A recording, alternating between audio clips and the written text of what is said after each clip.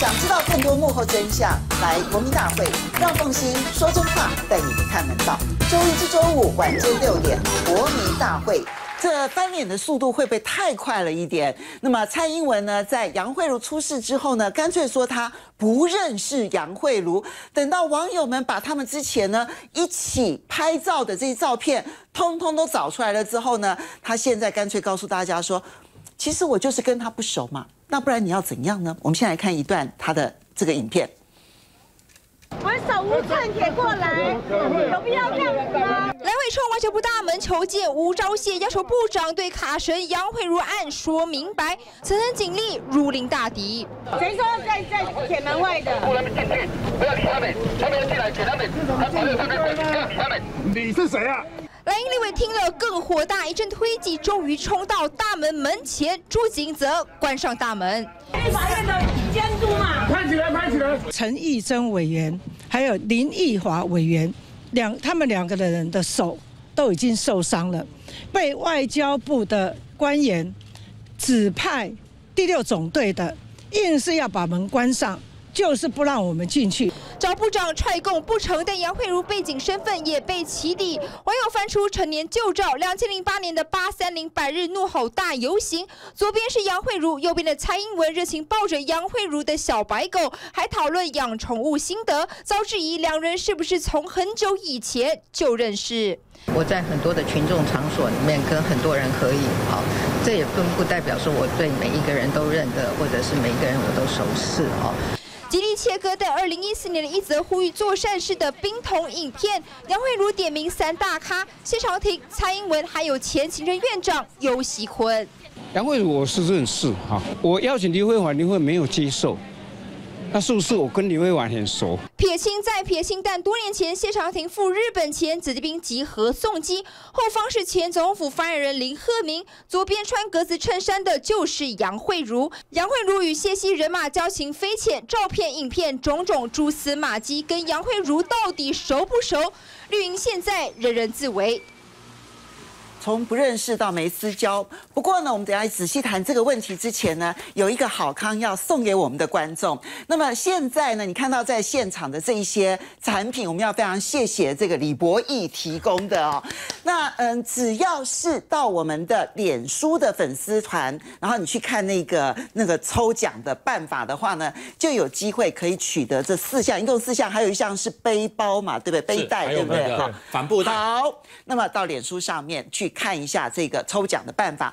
可是刚刚我们所看到这影片，会不会翻脸真的比翻书还要来得快？一下子就变成了不认识了耶！我再讲一遍，对于杨慧茹，我确实没有私人交情。你看，他已经一直在讲，我再讲一遍，凤姐别再逼他了。他已经讲好几遍了，而且女皇怒了，女皇生气了。但是呢，我我先问一下，没有私交也可以拿那个包包吗？没有，没有私交，跟博弈没私交也可以啦？因为我跟他们不熟啊，我们两个同框那么多次不熟啊，不认识，不认识。对，我讲真的哈，这个画面哈，我在群众场所跟很多人合影，这不代表对每个人都认得，或者每一个人都熟识，这就是切割。我讲真的。如果说这个我倒是有一点点可以接受，因为也许像我的狗狗凤青姐，我跟你没有很熟，你来抱抱，我会觉得哎你喜欢我的小孩，也许我觉得还说得过去。但是说不认识，我觉得太夸张。那是我的小孩，你要抱我的小孩，你告诉我说，哎呀随便一个人 OK，我怎么知道你给我做什么动作？但是好，我姑且可以放过。但是下面这个游戏冰桶挑战，大家还记得那个时候吗？为了见动人，二零一四年，对。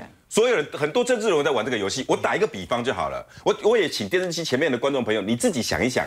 凤青姐，我我问你，今天如果两三个人哦，你你想到要给三个人玩，第一罗有志，第二哦也许是张雅琴哦，第三也许是唐香龙，你会选谁？我这三个人我都有可能，因为张雅琴其实是我学姐，我跟她最最，因为你平平常最常跟她一起直播，那我应该会找你罗有志。真的吗？真的。我跟他不熟，我跟他不是很熟，不认识，真的吗？张姐，我再讲一遍，我跟陈凤欣不熟。啊，那结果我们同框的画面被找出来，你会不会很伤心？我会。这就是杨慧茹现在的心情。嗯，你你我今天突然跟你讲说，凤仪姐，我对不起，我跟你不熟。嗯你你会觉得杨慧茹们现在在想什么？哎，不过我觉得今天蔡英文已经改口啦，他从不认识到现在是说没有私人交情，所以他已经改口了。我觉得不管有没有私人交情，今天他们所有动作都在切杨慧茹这个人，不管熟识认得是不是很熟，私人交情。我们只想要证明一件事情：你们跟他们到底有没有曾经跟人在一起过嘛？所以最近很多的这这个这个照片，为什么你知道吗？他们担心的是伤到他们的政党票，所以从蔡英文出来讲话，有一个人更出来讲话，卓荣泰，他今天呢？杨虽然有民进党籍，但是个人行为与党无关，这句不够精准，你知道吗？嗯。今天卓荣泰哦，整个是，哎呀，如果每个人同框，在于是呃个人的心理层面上面，如果这个跟每个人同框都还要记得的话，这个对于社会的学呃社会社会学来讲有点勉强。就蔡英文讲说我不认识杨慧茹，就卓荣泰说认不认识这是主观的感受。对。所以呢，蔡英文说他不认识，主观上他说不认识，那就是不认识阿伯利喜贝安诺，不喜贝安诺。所以有人今天揶揄卓荣泰，有网友说他是政治界的弗洛伊德，对，他连这种心理层面都出来了。这种话你听得下去吗？如果你是杨慧茹，然后陈菊也是没有接触杨慧茹，高雄市长那边也没补助，结果康裕成补助了二十万、二十万、二十万、二十万，五个二十万。所以我们从这里面看到那个急着切割的那个心态哦。思刚，你怎么去看这一些异次元式的这个、这个、这个、这个、这个切割？其实这些切割才真的让大家觉得愤怒。你可以说杨慧茹所做的事情，我觉得我不能够接受，我要谴责他。但是你要说他不认识。这会不会太夸张？太矫情了，太矫情。当杨慧茹在网络世界，包括在康裕成也好，我以前的谢系，在网络在选举这么帮大家忙的时候，杨慧茹现在心里会不会很凉啊？会不会觉得很脆心啊？我过去这么支持民进党啊，民党我们做什么？我不但做得很好，我还加倍加倍来来义做很多的义工，在网络上号召很多朋友帮民进党打选战，帮这谢系人马讲好话。甚至蔡英文，我也觉得他一定是蔡英文的支持者啊，是不是？人家的冰桶这样填这三个人，对，基本上 OK 嘛。基本上他也他也去认为说蔡一定会接受嘛，否则我写一个莫名其妙的，我想如我写一个柯文哲，他根本不会理我啊。他觉得我真的就不认识，真的不认识，可能就连连理都不想理我。李博义、黄敬平，你跟我说我不认识，所以你写这个代代表十足把握，说我一定会去临冰桶。嗯，所以认不认识，我相信一定认识了。啊，他过去跟拿民进党这么多的一个案子在做，然后呢，他也做过民进党党主席，哎，蔡英文也做过党主席，也做党主席。他这一段时间，民进党有没有委托杨慧茹，或是他的公司有没有做其他的事情？这个因为是民进党自己的财务资料，坦白讲，外面看不到。外面看不到，但是这个本本身的这种连结性很高，所以我觉得去讲他是不是杨慧茹，我觉得这一点都不重要，重点是杨慧茹帮了民进党政人物做了很多事。而且在二零一一年的时候，当时杨慧茹想要选立法委员的时候，他说是尤熙坤来找他。你知道那时候民进党党主席是谁吗？蔡英文哦，蔡英文呢？所以你尤熙坤找他的时候，有没有跟党主席讲过一些话？有没有打过招呼？有啊。那时候二零一一年，民进党的状况还不是很好哎，所以像杨慧茹这样的一个网络奇才，对民进党来说是个宝啊。那所以党主席怎么可能不认识他？然后凡走过必留下痕迹，凡曾经在一起过，网络上都会留下痕迹。可是网络上有合照，我觉得那是一回事。很重要的是，他们有没有帮杨慧茹去拿公家资源？现在所惊爆出来的绿色蜘蛛网，哦，那就很绵密了。不管是谢系当中的。管碧玲、康裕成、阮昭雄，或者是呢新系当中的屏东县长潘孟安，乃至于呢在高雄高平地区的康裕成、潘孟安跟陈信瑜，或者是嘉义帮的他的委任律师陈伟仁，以及他的下线那个网友蔡福明的委任律师蔡福明的委任律师陈泽嘉，都是属于陈明文系统的英系。你看到这个绵密的绿色蜘蛛网，在对照那个切割，就更让人觉得匪夷所思了。呃，这个绿色蜘蛛网可以看得出来，就是杨慧茹这个网军案哦，所拉出一连串头拉骨的这个呃。党政网络，而先说杨慧茹这一次这个被检方起诉之后，他跟他的这个网军下线蔡福明啊，分别找了这个律师，杨慧茹找陈伟仁，蔡福明找这个陈泽佳。那蔡福明尊称杨慧茹琪姐，因为琪琪嘛是他在网络网军的代号，他是网军头子嘛。那找琪姐帮忙，琪姐要介绍谁给他？因为他都找了嘉义帮的陈伟仁，为什么叫嘉义帮？又叫做这个必仲帮哦，也是必仲旧亲，同时也是法务部政务次长蔡必仲以前他们的这个法律法务律师。事务所他们的这个律师，其中陈泽嘉就是啊，陈泽嘉是谁呢？陈泽嘉就是民进党这个以前那个三宝啊，蔡启邦他的儿子，现在的立委蔡意瑜。蔡意瑜呢，他是这个嘉义县的立委，现在正在这个嘉义竞选连任。那他的服务处义务的法律咨询律师就是陈泽嘉。所以你看，蔡福明要找琪姐帮忙，琪姐又找了这个蔡意瑜的这个法法律咨询服务处的这个义务咨询律师陈泽嘉。为什么呢？会扯到在于，因为后来不是被人家起底说，哎。他们之前还曾经去泰国，在那边这个旅游，然后还躺到那个沙发上。虽然蔡玉肚子大大的、胖胖的，这个躺在旁边，那个好像要睡觉一样。然后杨慧茹在那边划手机，然后被人家拍下来。还有一张是他依偎在这个蔡依瑜的这个庞大的身躯的背后，小鸟依人般，非常的这个晒甜蜜哦。那另外一张是蔡依瑜跑到了这个杨慧茹的这个房间的这个浴室啊，在那边浴缸泡澡，还被杨慧茹放在脸书上说：“哎，我没有叫人来啊，怎么怎么突了一个陌生人跑到我的这个这个房间来洗澡？”诸如此类，可以看得出来跟蔡依宇的好交情呐。所以你看，光是嘉义帮这件事情，蔡必仲担任法务部次长，然后他的律师来帮这个杨慧茹，然后还有跟陈明仁之间的关系，以及跟蔡意瑜之间的关系。刚刚这一个静平所提到的跟蔡意瑜之间的那些照片，我们现在来看一下啊。那么他跟蔡意瑜之间的这些照片呢，所显现出来的，不管你所形容的这几张照片，哈，那我必须要说，因为。这些照片有些情境之下，其实不是只有他们两个人，所以还有其他朋友啊。对，我们不应该用八卦的方式，然后来谈这两个人之间的关系，但绝对从这几张照片显现。他们绝对是好朋友啊，所以而且一起出国玩嘛，所以再加上这次出事之后呢，蔡依瑜的这个法服律师也去帮这个杨慧茹和他的这个网军打官司。那这几个律师，尤其陈哲嘉，之前在陈明文高铁掉三百万的时候，是不是陪他出来开记者会，还拿着个牛皮纸来在这个镜头前晃一招，根本看不到那个是什么东西，然后这个不断的去解释，一直在圆圆圆，所以你就看得出来这一批避重帮出来的这个律师，再加上嘉义帮。到底他们的这个上面的指挥官是谁？又跟陈明文有什么关系？哎，三百万的这个高铁调钱案不了了之，会不会这个杨慧茹的网军案也拖拖拉拉不了了之，就拖到选后呢？所以博弈这点也确实会让人起人疑窦。哎，陈明光的陈明文的三百万，现在看起来嘉义地检署、台北地检署都没有人要持续的办下去了。那这样子的话呢，杨慧茹的这个案子，只要有毕中邦的律师出马，就真的会没事了。当然没事啊，只要有必中，什么事情都没问题。还有一个是国国家御用律师啊，只要重大刑案都是他来处理。刚刚我们的金明哥讲很清楚，蔡玉蔡意瑜的免费法律咨询服务律师是来帮我们的蔡福明来当打官司，他委任律师就帮杨慧茹的下线去打官司。没错，要知道我们的免费法服律师在座的选举都知道，那都是我们非常信任的律师，因为我们所有免费法律咨询服务，我们不容许那个律师本身有人格瑕疵。或者我们不允许那个律师是歪哥的律师，到处哎魔力，对，绝对不允许的，一定是代表我们够信任，而且能力够好。因为人家会来法律服务找到我们，代表他有很大的问题，我们一定可以提供给他最好的律师。而且你至少一定是认识，有一定交情，没错，有把握帮你，没错，有把握才敢做的事情。蔡依瑜一定是跟蔡福明的这一个律师关系极为良好，没错。而且中间是谁牵线？我相信大概就是我们的卡神杨慧茹来牵线嘛。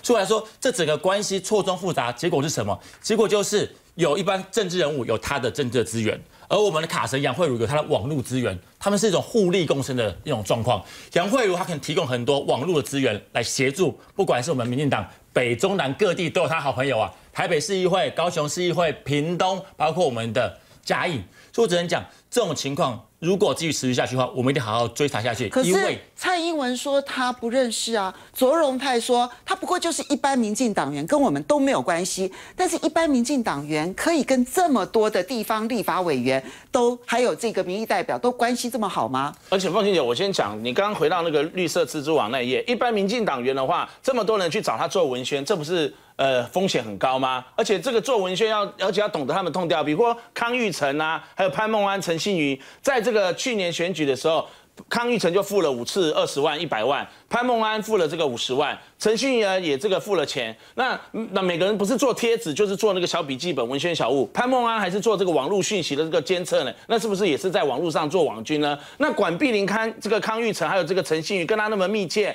然后甚至在这个呃当时。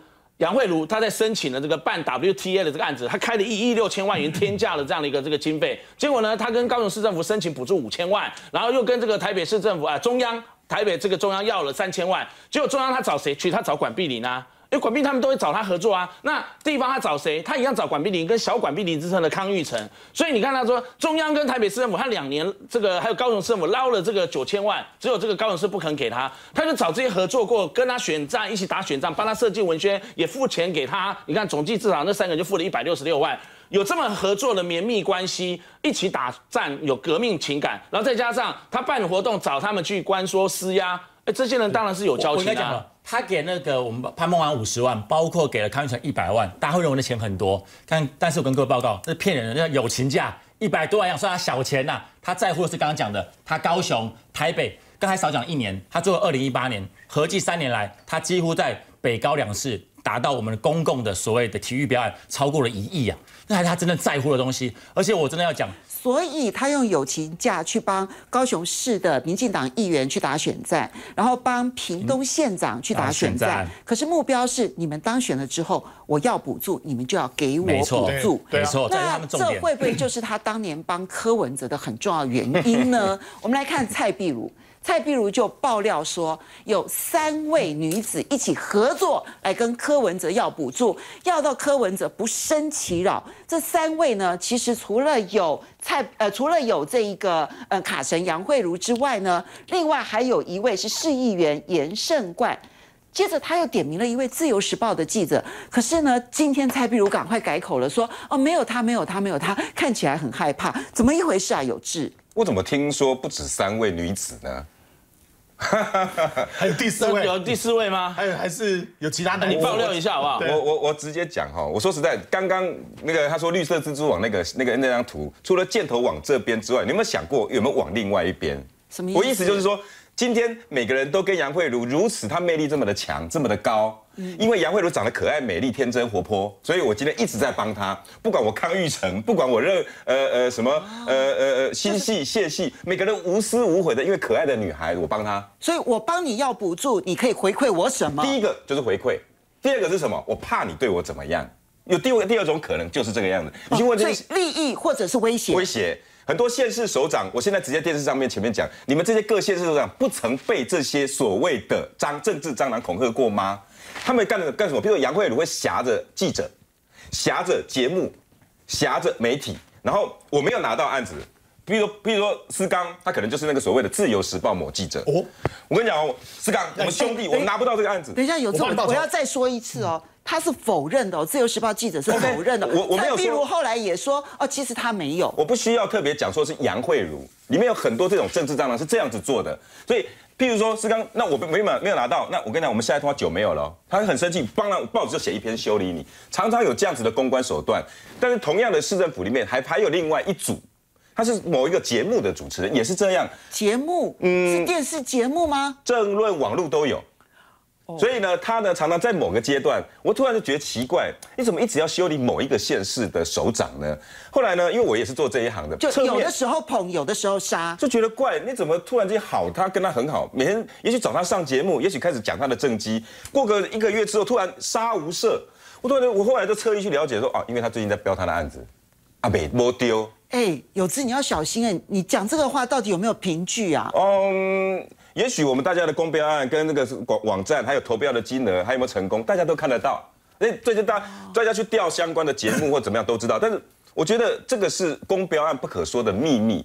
我觉得如果自己能够，大家能够按照自己规矩来标就好了。但是你用恐吓跟交换利益，这是谁的利益？老百姓的。有制作一个微标，他自己应该知道很多圈内这样的一个生态。但是你不得不佩服杨慧茹很厉害，他跟严胜冠这些去跟这个蔡壁如的老板柯批要补助啊。啊，柯批后来不爽，他自废武功，把那个市长专监。很多的厂商其实不知道，直接找市长。我也是当了议员才知道，你去找一般民意代表，找局处长是没用的。你要找那个县市的老大、最大的县长、市长，他找到柯比聪明，所以柯比吓到他，干脆就不要答应，然后就干脆把他那个市长的权利废掉了。可是杨慧茹他的重点不是他一个人去要，他可以夹着这一个市议员，然后不知道有没有媒体记者一起合作来要标案。那他所以变成一个共同体，包含了厂商杨慧茹，然后议员、政治民意代表、政治压力，然后再来记者或是其他的媒体人物。基本上变成一个生态圈呐，变一个生态圈，就是我当要不到的时候，我可能透过记者修理那个市长，然后我会透过其他的节目、其他的这种方式，我再去做这些很多的这个铺陈，很多的一个批评。所以大家会觉得说，哎啊，算了算了算了，这个反正这个钱又不是我自己掏腰包，这公家的钱，我这是东挪西凑，我大家凑一凑钱，然后就给你。好了，我第一个，你不要再骂我了。第二个，跟这个生态圈做好关系，其实对很多县市首长来说，何乐不为呢？所以蔡壁如他形容是柯文哲什么？嗯，不生其扰。对，柯文哲有在怕的吗？没在怕。但是我觉得，我觉得这个蔡壁如啊，他今已经离职的啦，他今已经离开这市政府顾问的这个工作了，然后去当这个呃民众党的这个立委候选人的角色。我建议他讲出来。所以你们觉得他昨天讲的是真的，还是今天讲的是真的？昨天讲的是真的，而且杨慧茹就是惯用这样的一个伎俩，因为游淑慧自己他就证实这样一个模式。淑慧之前在好市府时代，他是官船局的主秘嘛，那当时杨慧茹就找了一个这个台北市议员呢，也是在你那个触控上面的最左边那一位，然后去同样是严胜冠，呃，去跟那个淑慧施压。他在跑龙斌的时候就已经当时要推，就跟杨慧茹推杨慧茹他们自己公司推荐的四大运代言人，然后开出了这个天价，你去找一下，后来四大代。言人这个官船局他们不接受杨慧茹推荐的人，然后就拼命的修理杨慧茹，呃，修理那个郝郝龙斌市政府，修理这个官船局他们，然后那个时候就是找记者去修理他们，所以你不觉得这个模式就是一再的故技重施上演吗？好可怕哦！可是呢，你现在常会在脸书上面看到推播到你前面的新闻，请问一下，那是新闻还是广告？我们休息一下。脸书最近公布了一些政治上的广告，我们才发现说，原来政府还是用公帑，然后去推播他们的政治广告啊！休息一下，马上回来。